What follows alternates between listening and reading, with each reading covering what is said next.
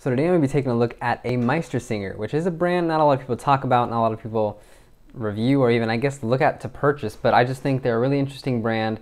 Got a kind of a unique place in the market and let's take a look at it. We have a diameter of 40 millimeters, a lug to lug of 47.5, a height of 12.3, and a lug width of 20 millimeters. Some other general specifications for the watch, we're gonna have the Miyota 8285 movement in here. It's gonna beat at around 21,600 vibrations per hour, have a 42 hour power reserve.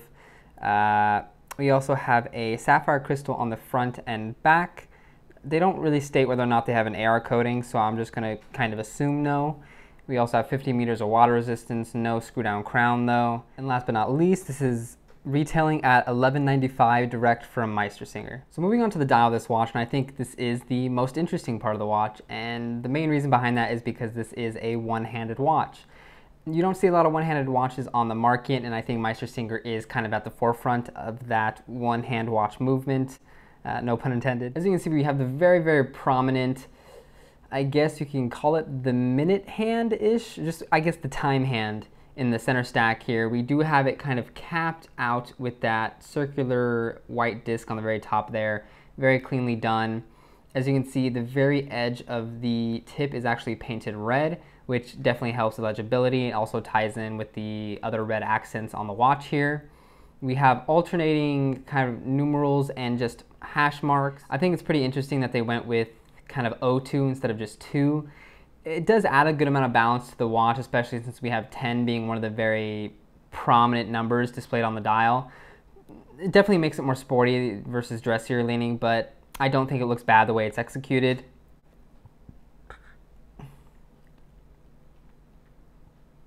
One thing you should notice is that every 30 minute mark between these hours, uh, every basically every hash mark is five minutes, and if you can see every 30 minute mark is actually shown in red here.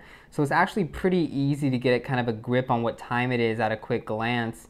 And I think that's a nice kind of attention to detail, a nice touch for the watch. Not only does it nicely tie together all the other red elements on the watch, being in the, the date wheel as, as well as the tip of the seconds hand, but it also just is functional in helping you read the time quicker. On Meistersinger's website, they will tell you that basically the date window being circular is meant to kind of represent and I guess kind of echo the shape of the case, while the date window actually kind of mimics their little logo right here, which I guess is a nice design inspiration. Is there really many other ways to do a day date kind of layout if you're doing it at 12 and 6? Not really. So I guess it's kind of, yes, inspiration, but part just regular function of the watch that needs to be carried out. Overall, I think the dial here is pretty well done. It is very clean. It really doesn't kind of stand out too much. I think the red accents, while very prevalent, are a little bit more subdued than you would think uh, right off the bat. And overall, I just think the dial really comes together really nicely. Black is kind of more leaning gray in some lights, which gives the dial a nice dimensionality. So overall, well done, Meistersinger. So taking a closer look at the dial, we can see all the text is pretty well done.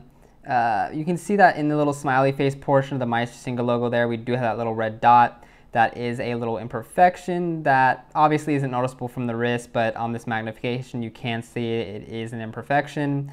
We also have that little portion of the hand here. The red paint has kind of seeped onto the white hour hand portion.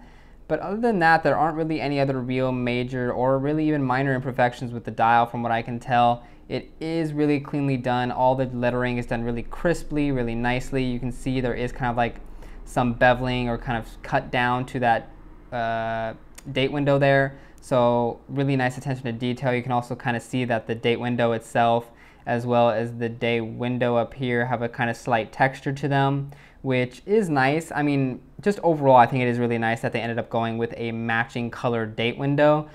Uh, would I have preferred maybe black? I think maybe it would have blended in a little bit more, but again, this does really complement all the other red text on the dial or really red accents on the dial. I really do like how much dimensionality these numerals do have to them.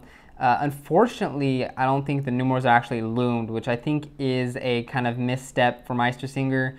There are a lot of white elements on this dial that could be lumed, and I believe the only parts that are lumed are the kind of these outer uh, hour portions here. So that is unfortunate, but it is a cleanly done dial. It is nice to look at, and it's pretty well executed overall. Moving on to the case of this watch, and while simply done, I think there are a couple elements which are just kind of nice attention to detail points.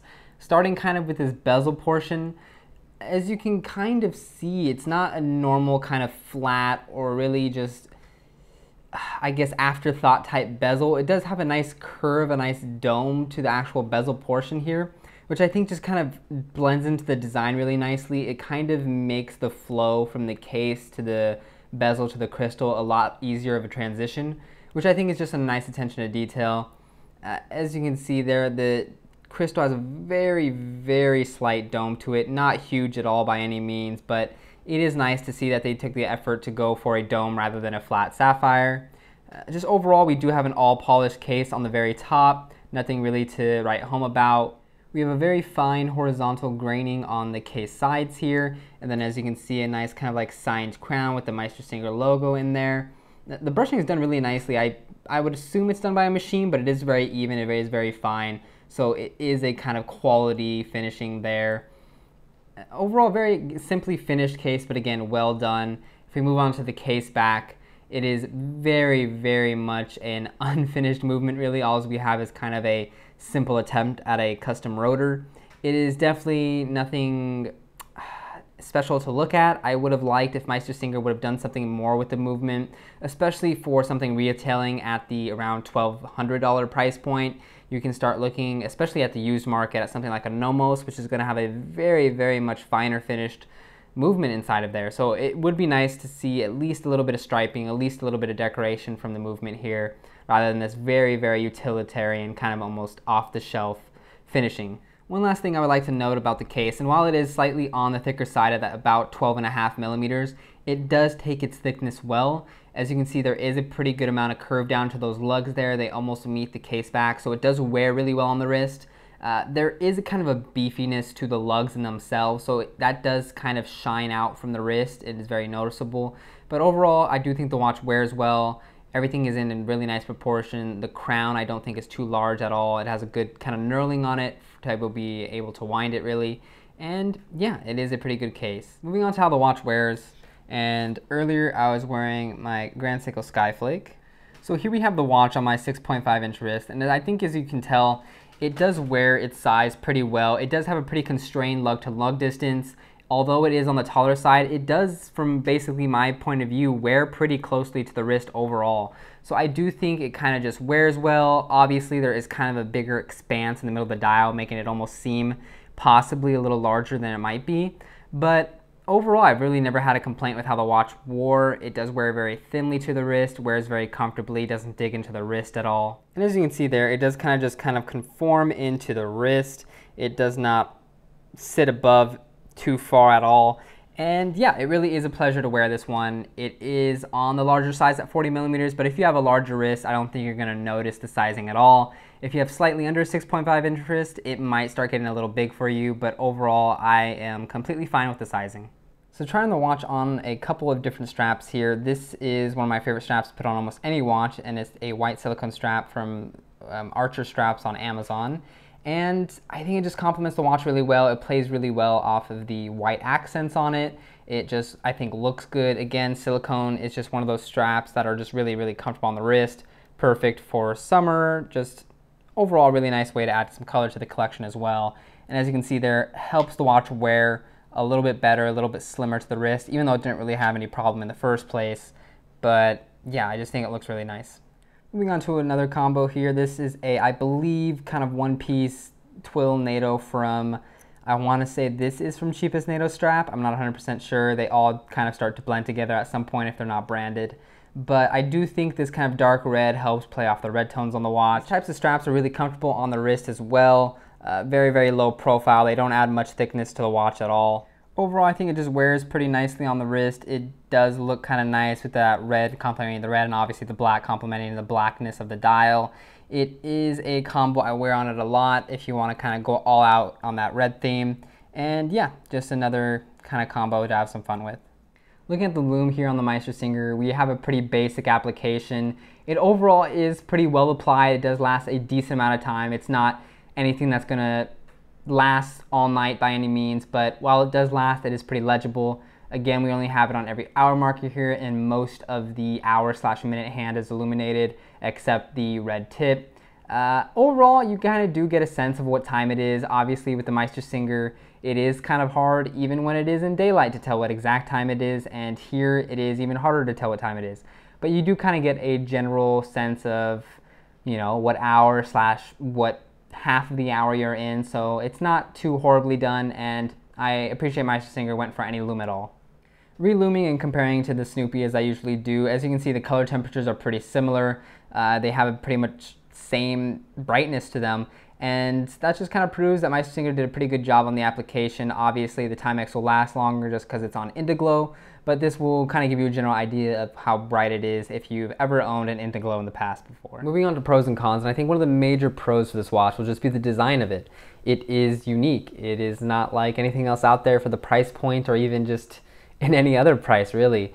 It is a fun watch. It has some very, very fun color combinations. I think the way they've implemented the red here was not only really, really well done, but it just looks nice. It has nice attention to detail with the fact that they put it in the day and date window and it was just executed really, really well.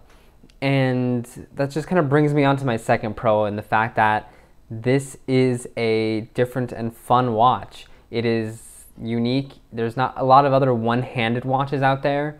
And it kind of just gives you a different feeling. I mean, obviously you have like different types of watches. You have a three-hander, you have a chrono, you have a moon phase. And this kind of feels like its own thing. It doesn't have necessarily a complication to it. It has lack of complication really. And it is interesting to have. It mixes up the feel of the watch on your wrist. It mixes up the you know wearing experience of it. And it kind of gets into that mindset of, you know, time isn't super important all the time, I guess. It is just something we have fun with. It is our hobby, and this is a really fun watch to remind you of that. Moving on to some cons, uh, I think one of the major cons will be that for some people this watch will just be too out there. I mean, can you still tell the time to a relative good degree of accuracy within like a five minute range? Yes. But for some people, they want that like pinpoint accuracy. They want to be like on time for a meeting or something. So this necessarily isn't the best watch for that purpose. Uh, but it is kind of a watch for a certain subsect of people. They don't care about super accuracy. They don't care about the fact that it looks different. They want it because it is different. But it's up to you whether that's a pro or con of the watch. Another more kind of like design-wise con of the watch would be the fact that it has like a visually large dial. It doesn't have a very big bezel, so the dial itself is large for a 40 millimeter watch. And on top of that, it actually has like a lot of negative space on the dial itself. The all the text is around like the very extremity edge of the dial, so there's a lot of empty space in the middle, which creates the feeling of the watch being bigger than 40 millimeters. Which for some people with maybe larger wrists, that will be a blessing, and for some people with smaller wrists, they may not like it. For me, I have a 6.5 inch wrist, but I think it is relatively flat compared to some other people. It, I think it still wore well. I think it was nice. It gave a different visual look than the watches do but for some people it might look too large. Moving on to my last con, and that will just kind of be, this is a somewhat expensive watch for kind of like a novelty factor. There are some other watch brands out there that do single-handed watches. There's, I don't know how to pronounce it, but it's like Luke or Luch or Luch. Uh, is like a Russian-based brand, and you can get those for like 50 to $100 on Amazon or eBay. There is also Slow, I believe, S-L-O, that also do one-handed models.